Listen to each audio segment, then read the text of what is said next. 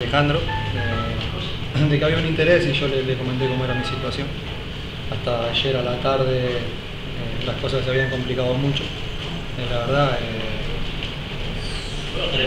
pedirle por ahí disculpas a la, a la gente de Chicago porque esto era así, ellos ya lo sabían con anterioridad cómo se estaba manejando todo. Yo hasta ayer a la noche me iba a, a dormir con la noticia de que la única opción que tenía era ir a jugar a Chicago. Eh, entonces hoy me levanto, normal, como un día normal, y nada, esperando la recesión con Independiente y, la firma de lo que se había pautado. No me esperé en ningún momento que me iban a sorprender de esta manera, eh, pidiendo esta autorización y que se la den. Eh, y bueno, acá estoy. Eh, no por, eh, por faltar de respeto a Chicago ni nada, sino ellos ya sabían con anterioridad de que existía esta posibilidad, pero como no, no le habían dado la autorización hasta el día de ayer, eh, las cosas cambiaron y bueno, estoy donde estar. Entonces te llamaron, te llamaron y te dijeron no firmes con Chicago, estamos es que yendo no para había- la AFA. Es que no, no había nada, no se había arreglado nada hasta que pasó el mediodía, no es que yo esperé lo, lo que pasaba acá. Eh, lo que pasa es que se tardó mucho también el tema de, de Independiente, yo a Independiente fui a rescindir recién a las 4 de la tarde, Eh, pero no por un tema mío, Ah. sino por un tema de Independiente y que no había muchas cosas por, por hacer. Y bueno, así fue, eh, contento, eh, estoy de vuelta a mi casa y eso me pone más que feliz. Si Apuso te necesita, ¿estás para jugar el martes? No tiene que ver él eso, yo estaba entrenando eh, hasta el día de, de ayer, con reserva, pero a la par de, todos los chicos. Eso es una decisión de él. Mañana veremos cómo hay que hablar, veremos cómo él quiere encarar todo lo que, lo que pase de acá adelante.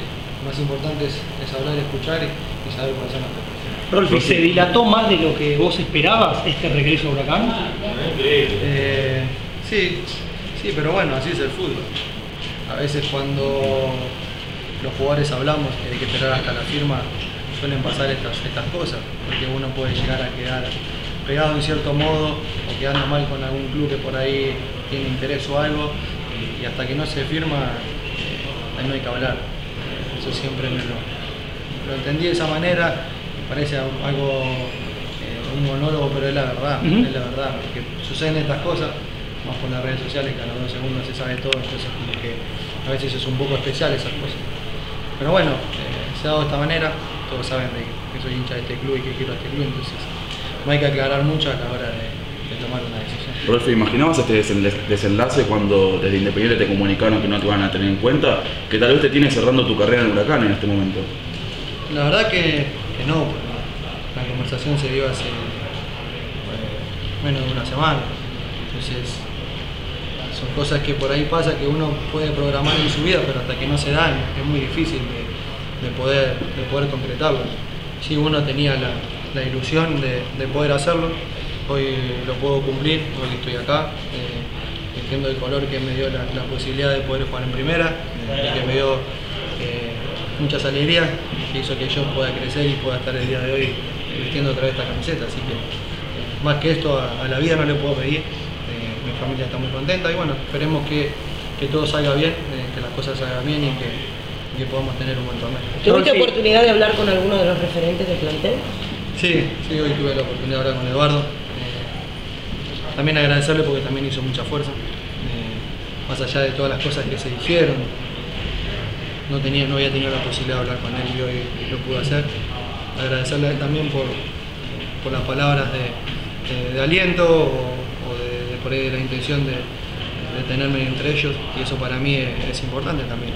Eh, como también en su momento me llamó Vomito. Eh, esas cosas a veces eh, se agradecen porque son actos de, buena fe, actos que a uno lo deja tranquilo de saber que, hay chicos dentro del plantel que pueden ser tus compañeros que quieren que estés y eso la verdad es, muy lindo. Rolfi, en, todo esto, en todo este tiempo, perdón, eh, viéndolo afuera, hasta pareció una novela de, amor, eh, una novela de amor con celos, con declaraciones, con llamados, con no llamados, eh, con gente que se enoja, que se alegra. Eh, la novela tiene final feliz, vos estás donde querés, y, te quiero preguntar por todo lo que pasó en el medio, una relación con la gente que fue muy buena, no tan buena, que tuvo al- altibajos, eh, y hoy que terminan disfrutando tu regreso. Sí, es lo, que, lo que te digo, ¿no? a veces hay comunicaciones que salen y que, y que es muy difícil de parar. Yo estoy tranquilo con lo que declaré esa vez y lo sigo manteniendo hasta el día de hoy. Y, y- y los hechos lo demuestran. Porque en el primer llamado estoy acá. Entonces creo que más que explicaciones no, no te, puedo, no te puedo dar, sino te lo puedo dar con hechos. Estoy donde quiero estar, estoy donde eh, he vivido muchas cosas. Volver acá genera mucha emoción, eh, ponerte esta camiseta también. Bueno, uno pasa por clubes, hace historia porque esto es, eh, no es la época de antes donde estaba uno 10 años en, un equipo, porque no, no existe eso, pero sí uno tiene eh, vivencia, uno va aprendiendo en la vida y hoy le puedo agradecer a Dios de la posibilidad que me dio de, de volver a estar acá. ¿cómo lo estás viendo?